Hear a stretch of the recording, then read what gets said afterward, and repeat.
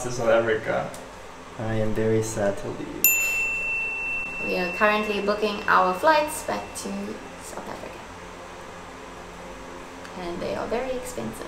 God Goddamn. Very, very expensive. But as far as we understand, our travel insurance will pay for it. The maximum that they'll pay for a flight is ten thousand dollars US dollars per person, which is just we'll never get a flight like that. Business so- class! But yeah, they should they should cover it. Um, it's in writing. We followed all the things that we needed to. We're actually gonna phone them now and actually just double check, and then we're gonna book it, and we'll be home on Sunday. Alright, let's do this. Have we double checked that Emirates?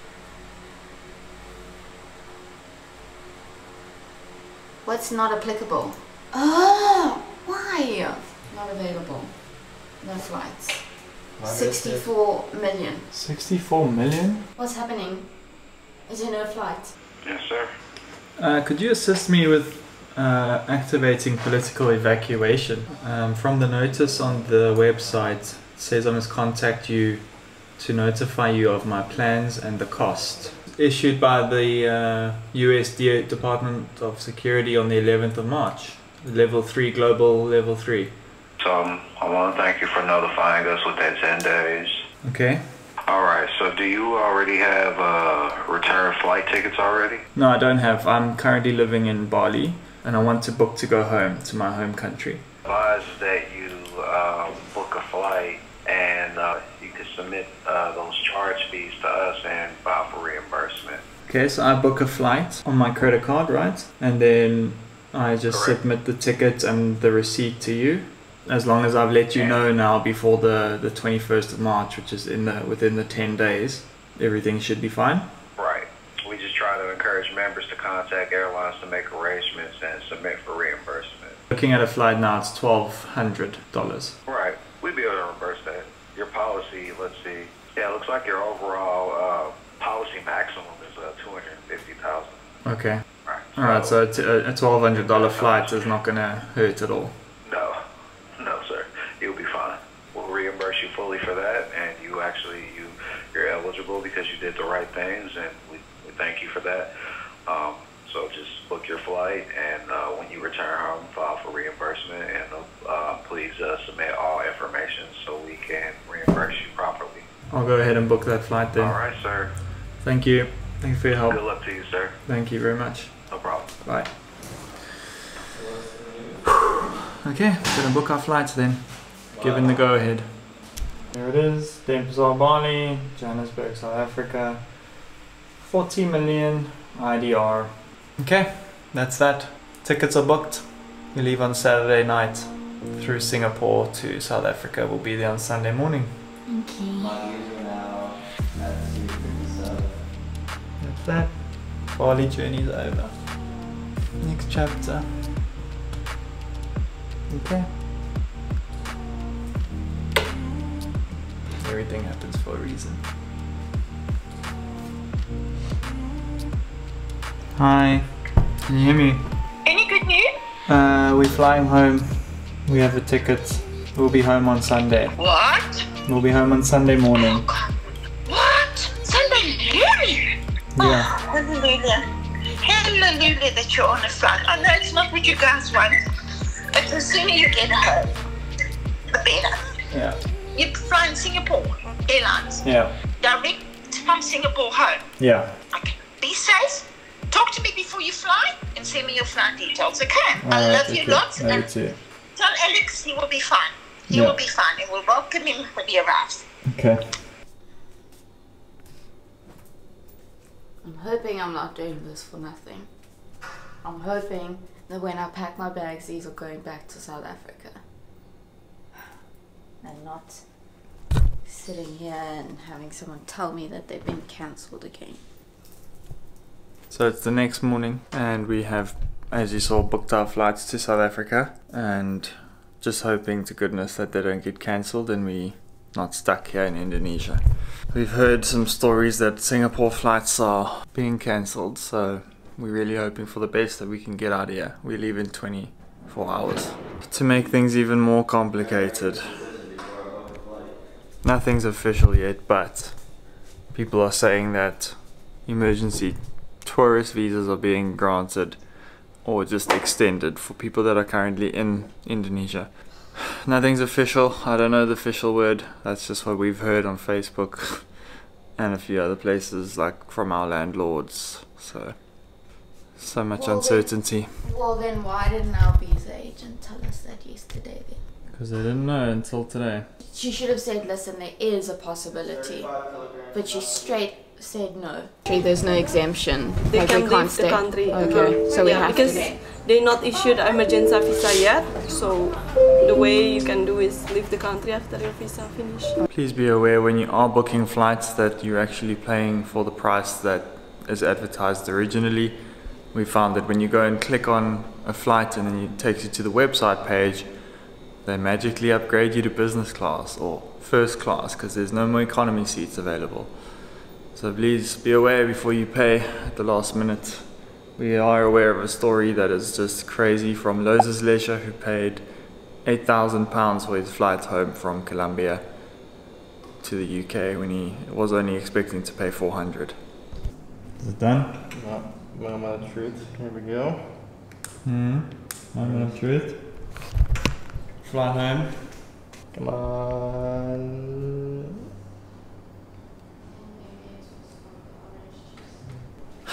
These are very stressful times now. Alex trying to book a flight too, and you go through to try and book, and the tickets are gone, seats are gone.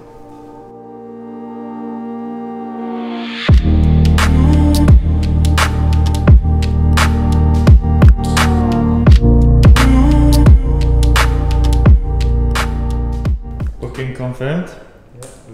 It's official.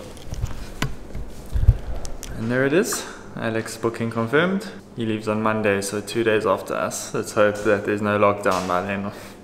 More developments. It has something to do with the emergency visa that's being granted. Did Claire tell you that we've paid for our flights and we've booked? Ah, you already did that. Okay. Yeah, we had to last night. I know, I know, I know, because timing is important. Yeah. we tried but to book- Anyway, We tried to, we were very stressed. We tried to book some Emirates Yes. flights and they, the tickets were getting sold out while we were sitting there trying to book. okay, okay. Okay. Thank, Thank you, you, Rick. Thank you. Thank you. Bye. Bye. After booking our flights last night, this morning we've woken up and it's just, even though you'd think it would be clear, there's still so much uncertainty. People have been asking us, are you guys sure that um, flights out of Singapore are still allowed? And are you sure yours isn't cancelled? So we obviously have been stressing the whole day because that's also a factor to take into account is if that flight from Singapore to South Africa gets cancelled then we will be stranded in Singapore. And Yep. that's just a very such a very stressful situation and essentially if we're there for too long we will lose our jobs because we won't be able to teach. If we do get held in Singapore and we want to come back to Bali, we would not be able to come back to Bali. So it's a very important fact to remember if you do leave Bali, you have to come back with a medical certificate from your home country. That is a requirement at the immigration office when you arrive at the airport. So keep that in mind if you do want to do a visa run. You're going to be expected to show a medical certificate, mandatory medical medical certificate, no matter where you come from. We did cancel our Malaysian flight and we actually got credit so we will be able to use that credit anytime in the year. It's valid for good. 365 days. Yeah. So with that original Malaysia flight, we would have um, gone into Malaysia, so we would have passed through immigration. And when you pass through immigration, you have to go into quarantine. So an important fact to remember if you are going to be booking flights at this time, to book a direct flight if you can, so that you remain in transit. It is so important. Immigration, and you actually enter the country, collect your bags, and then book another flight out you will be basically entering the country and you might be susceptible to go into quarantine. I know in Singapore, if you do that in Singapore, you will go into quarantine, mandatory. They no exceptions. Malaysia, same thing. We've actually heard a couple of horror stories about people landing in KL and having to go through immigration, and they've been put into quarantine, and it sounds like it's absolute hell. They've had Yeah. their phones taken away, their passports taken away. They've had children separated from mothers. Uh, it's actually quite quite sickening. Yes, so we advise the viewers of this channel please just don't fly into Malaysia. It's not worth it. Um, do not book any Air Asia or Jetstar small Asian flights. Rather just book the big. I know they're expensive flights, but it's Yeah, just so- worth it. It takes out. Oh well, we're hoping that it takes away the stress of Yeah. Potentially being put into quarantine. So you can book the big flights out of wherever you are now. For us, we're in Bali, so you, we've got there's a couple of flights on Qatar Airlines, Emirates, and Singapore Airlines, and the whole transfer is handled by the airline itself, and you stay in transit. If you try save money and book a cheap flight, you are going to have to exit through immigration, and then you're in trouble. So really keep that in mind. Yeah, we also just heard of a girl that did a quick visa run to KL in one day about a week ago when she was still able to, and she flew back to Bali and she's got coronavirus from being in the KL airport for one day. Very, very sad. Hopefully she, she'll be okay, but very, very scary. She's in quarantine now, not working, her medical bills racking up. It's just a very stre- stressful situation. But the very main reason why we sat down in front of the camera today is to thank everyone on YouTube, on Instagram for the support. Um, it's just it's just been wonderful to see people backing each other and being there for each other, and um, we really really appreciate it. We're all in this together. Everyone in the world is in the same boat. Um, we're just documenting our experience so that you know you can see other people are going through what you're going through, and it's just to be relatable. But we will get through this. We All of us strong. together, one big community. One big global family. So yeah, guys, if you're going through the same thing, please, please comment down below your experience. Let us know what's happening in your life at the moment. It it really helps us to relate to you. It helps us knowing that other people are going through the same thing as us. We can support each other and be there for each other. So And let's make the comments a wealth of information, of knowledge yeah, for other people to draw from, Yeah, so that we- we can all figure out what to do because there's just so much uncertainty. yeah. Governments don't know what they're doing. They're changing their minds on a daily basis. It's just crazy. We need to stick together and just share information. the most common decision amongst travelers is to just go home, fly home to your country and stay there for a little while, you know, when all the dust settles. It's just easier that way if we're all home with our families. You need that support stru- structure at this time, you know. You don't know how long this is going to go on for, and how long do you want to be stranded in a unfamiliar place, far away from your family and friends, without financial or emotional support. It's been a tough decision to make, but we definitely happy we've done it. We're just hoping that there's no roadblocks along the way. As you might have seen, Alex, our roommate that we've been traveling the world with for over a year now, is coming to South Africa with us.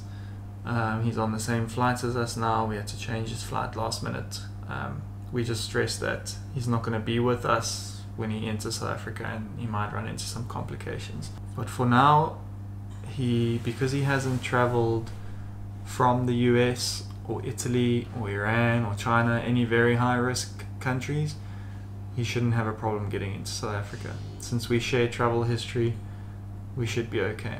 We thought that booking the flights would all be good. It would all be chilled from now, but it's it is still very scary. Um, and then we've obviously got the coronavirus to worry about too. And I don't think we're as worried about ourselves contracting the coronavirus as we are spreading the coronavirus. I just don't want to make anyone else sick if I get contract the virus and I don't know that I've got it, you know. But we are going to go into a, tw- a two week isolation in our own home, Absolutely. far away from our grandparents. We will not even be hugging them, kissing them hello. We won't even be near them. So, yeah, that has to be done. If you are traveling home, don't just run up to hug your mom when you arrive at the airport. It's really, really sad, but Just got to give a Bluetooth hug, I guess. That's just Wave how from- it is. From a distance. Just for two weeks. At the same time, don't take this lightly just because you think you're young and healthy. yeah. We just heard a story of a California man who hasn't traveled at all. He's just been living in California and he went to Disneyland. He's 34 years old and he just died from coronavirus. That's two years older than me. It's Yeah. not, you're not immune. Sorry that this is all stressful and our spirits are not Soaring high right soaring high. Yeah. now. But we will be okay. We'll get there. We have to keep And positive. we'll try and stay positive for you guys because we know positivity is all we need right now. yeah. So we'll try and bring that to you. Okay.